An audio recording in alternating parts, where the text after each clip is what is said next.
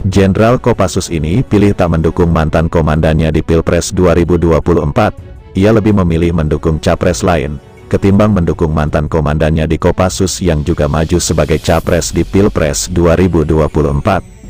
Siapa dia? Dia adalah Jenderal Purnawirawan Andika Perkasa, mantan Panglima TNI di era Presiden Jokowi. Jenderal Andika adalah Jenderal Didikan Kopassus. Ia lulusan Akmil tahun 1987 waktu masih kapten. Andika adalah anak buah Prabowo di Kopassus. Ketika itu, Prabowo jadi Danjen Kopassus. Prabowo sempat sebut Andika murid terbaiknya di Kopassus. Tapi di Pilpres 2024, Andika lebih memilih dukung Ganjar Pranowo ketimbang Prabowo mantan komandannya di Kopassus.